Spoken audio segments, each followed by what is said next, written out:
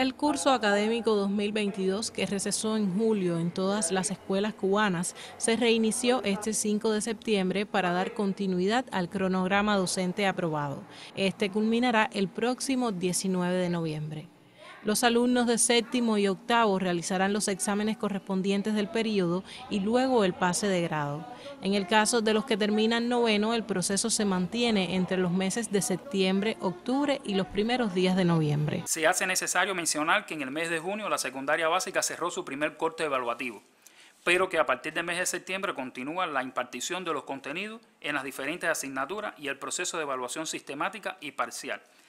En el caso de la evaluación eh, parcial, está también los seminarios integradores, contenidos y seminarios que fueron orientados antes del cierre de, del primer corte evaluativo y antes que los estudiantes salieran de, vacaciones.